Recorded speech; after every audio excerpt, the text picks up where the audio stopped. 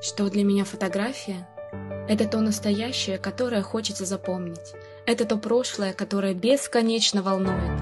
Это то будущее, о котором мы можем мечтать. Это то, что нам подвластно. Это я показываю камере ровные линии, формы, перспективу, ищу свет и руковожу им. Ловлю эмоции, позы, настроение и решаю, какая будет одежда. Дирижирую предметами и их расположением в кадре. Я творю. И хочу этому научить вас. Видеть мир другими глазами, находить прекрасное вокруг и сохранять важные моменты из жизни. Я покажу как. И буду рядом с вами. Татьяна Тарада, Школа мобильной фотографии.